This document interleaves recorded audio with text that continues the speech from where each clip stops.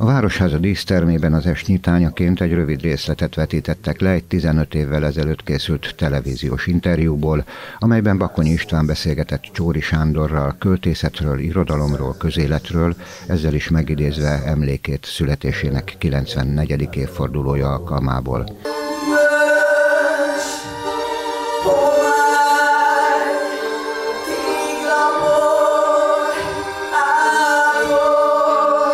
Az ezt követő műsorban a Csóri Sándor Társaság és a Szent István Művelődési Ház meghívására érkező hallgatóság Szirtes Edina Mókus zeneszerző hegedűművész, Lutter Imre előadóművész és a Tárnok Ákos vezette Kákics együttes előadásában hallgathatta meg az ámai születésű költő műveit. Tisztelgés, tisztelgés a Vármegye, Székesfehérvár és az itteni irodalmat, az értékeket kedvelő közösség részéről, és igen, tisztelgés az is, hogy erre a születésnapra, erre a megemlékezésre itt kerül sor Városházánk Disztermébe.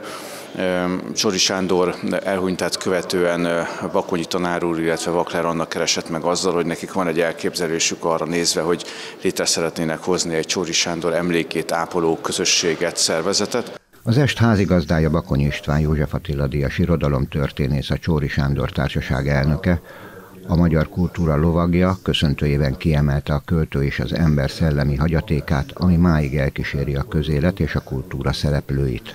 Csóri Sándor valóban minden fronton helytált, és többek között erre a személyiségre, a költőre, a közéleti emberre is emlékezünk ezen a Csóri Sándor emlékesten.